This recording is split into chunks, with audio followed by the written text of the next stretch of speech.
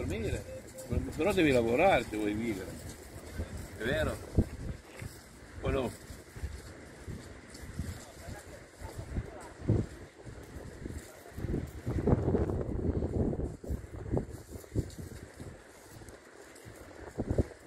Io vado dentro che passo lì dentro.